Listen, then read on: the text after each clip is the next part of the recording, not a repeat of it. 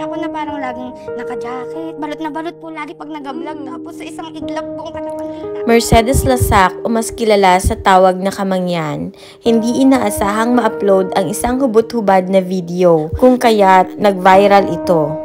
Nakilala si Kamangyan dahil sa kanyang mga nakakaaliw na vlogs kung saan siya ay nagluluto sa palayan.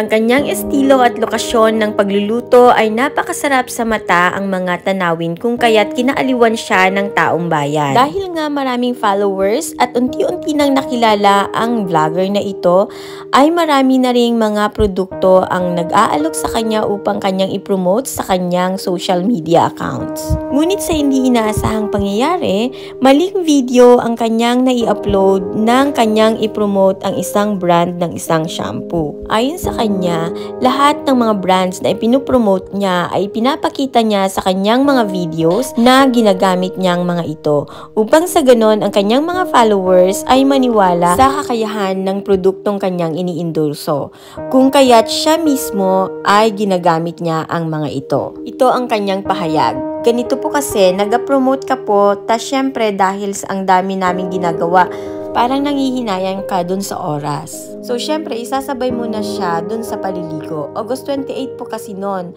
magkakatapusan na, kailangan matapos na ang mga dapat tapusin. So, kailangan nang matapos yon bago mag-September. Kasi, hindi naman po yon ang first time na nag-promote ako ng shampoo na nagkaganon.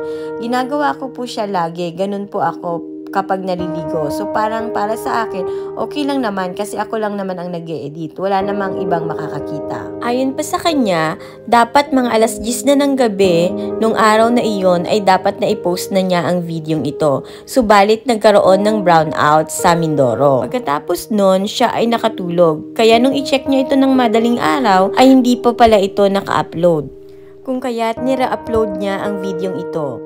Ngunit sa hindi inaasahang pangyayari, ibang file ang nai-upload niya kung saan may mga clips na hindi pa niya na-edit na makikita ang buong katawan niya. Pagkatapos nga daw niyang ma-re-upload ang video, After 5 minutes, para daw may nabulong sa kanya at nagsabi na i-check niya ang video.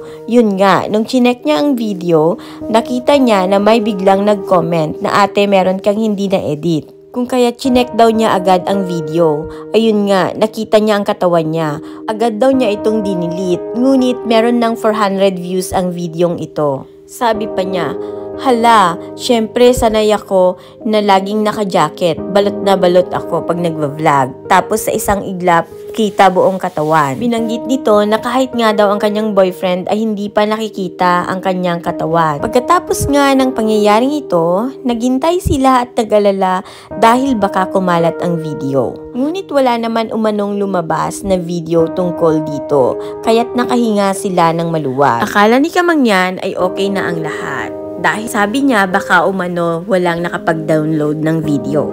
Hanggang sa nitong November ay bigla umanong may nag-message sa kanya at nang blackmail Nangihingi ng 50,000 pesos upang hindi ipakalat ang kanyang video. Hindi daw muna niya ito na-replyan at ang ginawa niya ay humingi muna siya ng tulong sa kapatid ng boyfriend niya na isang pulis.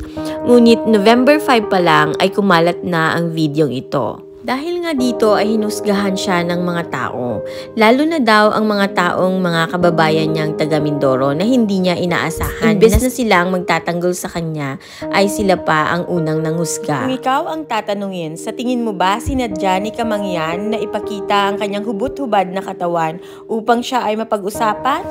Write your comment below.